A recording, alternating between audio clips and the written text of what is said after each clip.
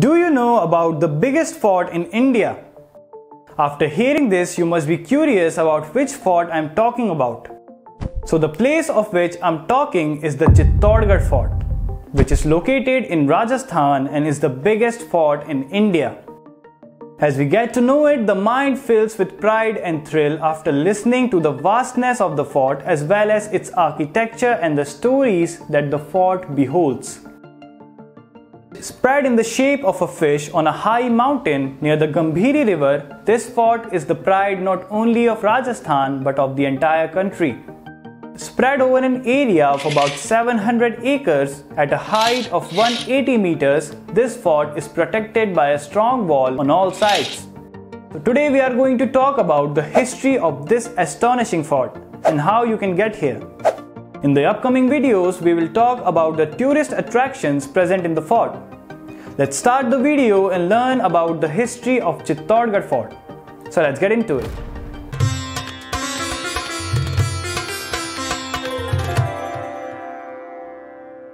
The Chittorgarh fort is also known as water fort because earlier there were 84 water sources present here in the form of ponds and stepwells, out of which only 22 are present now. If we talk about the construction of the fort, it is believed to have been built by Mahabali Bhim. Later in the 17th century, its construction was also linked to the Mauryan dynasty king Chitrangad. For this reason, earlier this fort was known as Chitrakoot.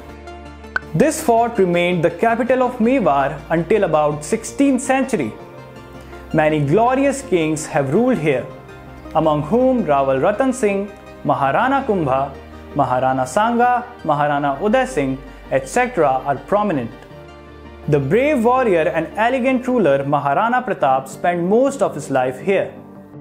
The fort has withstood sieges and invasions by Alauddin Khilji of Delhi Sultanate in 1303 AD, Bahadur Shah, ruler of Gujarat in 1534-35 AD, and Mughal Emperor Akbar in 1567-68 AD. During these three attacks, the Rajput warriors lost their life in the battle outside the fort, and the Johar of brave Rajput women took place inside the fort among which the Johar of Queen Padmavati is world famous.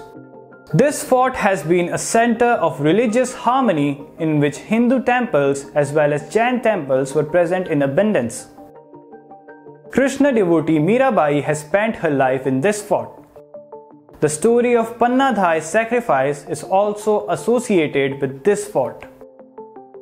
Due to the religious and historical importance of the fort, as well as the harmonious art and culture, UNESCO declared it a World Heritage Site in 2013. Except for Fateh Prakash Mahal, most of the construction in the fort are from the time before Akbar's invasion, that is about 500 years old. After the attack, due to Udaipur becoming the center of the rulers of Mewar, most of the buildings here have reached a dilapidated state due to a lack of maintenance. Chittorgarh Fort is the largest fort in India.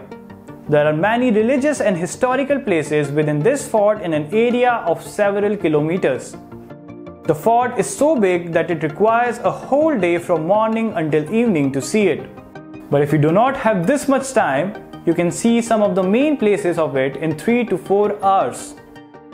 Most tourists, either due to a lack of information or a lack of time, do not see those places that have great importance in history, apart from some major tourist places.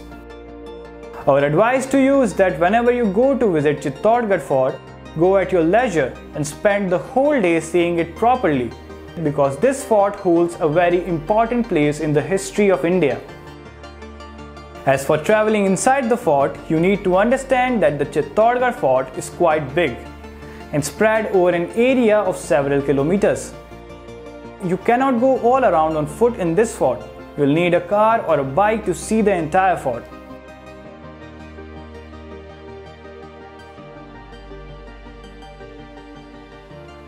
As you know, the weather in Rajasthan is mostly hot Hence, apart from the summer season, you can come to visit Chittorgarh Fort anytime.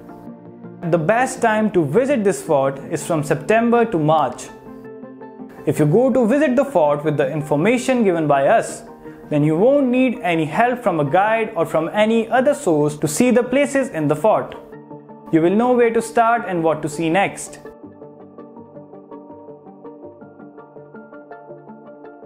Moving forward to the gates, the fort is protected by seven huge gates known as poles.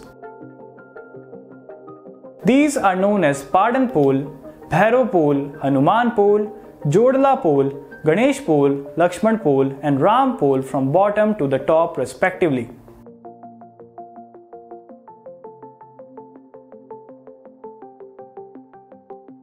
Chittorgarh Fort is situated on a big hill near Chittorgarh city. Chittorgarh city is a district headquarters whose pin code is 312001. Chittorgarh city is connected to big cities like Udaipur, Jaipur, Ajmer, etc. by bus and train. The nearest airport to Chittorgarh is Maharana Pratap Airport, which is situated at a place called Dabok, 20 kilometers before Udaipur on the national highway from Chittor to Udaipur.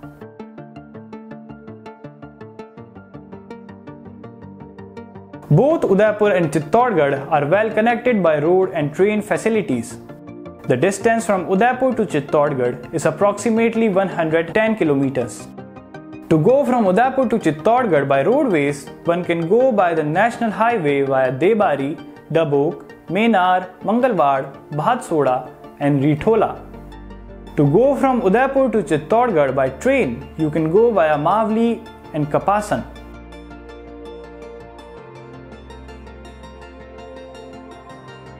Jaipur and Chittorgarh both are well connected with each other by both road and train facilities.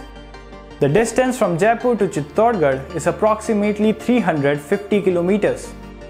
To go from Jaipur to Chittorgarh by bus, one can go by the national highway via Kishangarh, Nasirabad, Vijayanagar, Mandal and Bhilwara. To go from Jaipur to Chittorgarh by train, you can go via Ajmer, Vijayanagar and Bhilwara.